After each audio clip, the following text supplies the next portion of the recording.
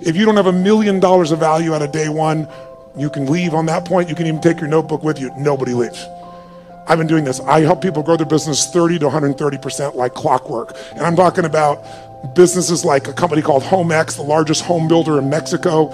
They directly relate to us three quarters of a billion dollars of increase in the last 24 months. Or a chiropractor's got two members of his staff, an army of two, and he's doubled his business in the last nine months, right? That's what I do. My greatest skill. And how do I do that? It's like how I've built all these businesses, but it started with one understanding that I want you to have. And it's why I focus today on achievement and fulfillment because you're if you look at any business and you want to know what the chokehold is on the business's growth, it's always the owner. It's always the leader. Because the chokehold is in the form of your psychology and your skills. And I would say to you, jot it down 80% of success in business is psychology and 20% is mechanics. Now, don't get me wrong, I'm a big believer in strategies because I know one strategy can save you a decade of pain. One strategy can make you a million dollars. But if you have the strategy, how many have had lots of strategies in the past and then not followed through? Who's done this before? Say aye. That's why your psychology is the most important part. So I'll give you the details at the end, but I want to plant the seed with you. If you want to grow your business, you've got to grow. There is no business that's going to grow dynamically and consistently and give you huge levels of financial and emotional and spiritual rewards without you growing.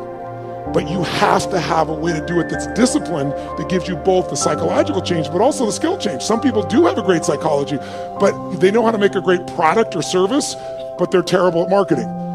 And today, by the way, does the best product win in the world we live in today? Yes or no? No. Which product wins?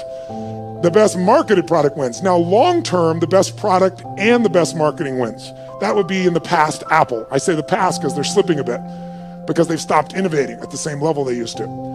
But the bottom line is if you have incredible product or service and you have incredible marketing, you're going to win. But we live in a world with shitty products. Who's ever seen someone who's a, a product far inferior to your own product or service and they're making more business than you are? Let me see your hands here. Say aye. Today, is it easier to market or harder? Which one? Which one? It's easier and it's cheaper, but it's less effective. The reason is 15 years ago, I don't know what the numbers are in Australia, but I know what they are in the UK, I know what they are in Germany, France, and the US, and it's identical numbers. About 15 years ago, it'll be 16 years ago now, they did the study, and they found that it took on average four exposures to a product on average before someone then took action, on average. Does anybody know what it is today, meaning as of last year? 16. 16 exposures on average before someone responds. So today, it's really hard to succeed if you're in a situation where you're trying to market and what are you going to compare to? Today, people have gigantic budgets. That's why you've seen all these small businesses disappear and more big businesses show up. And how are you supposed to compete with that?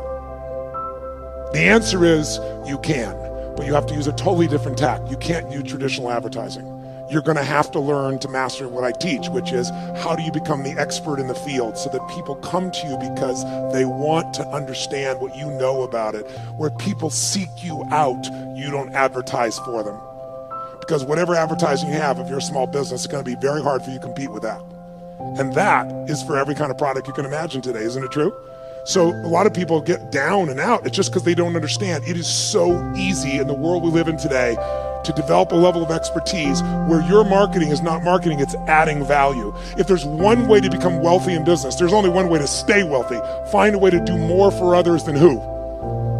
Than who?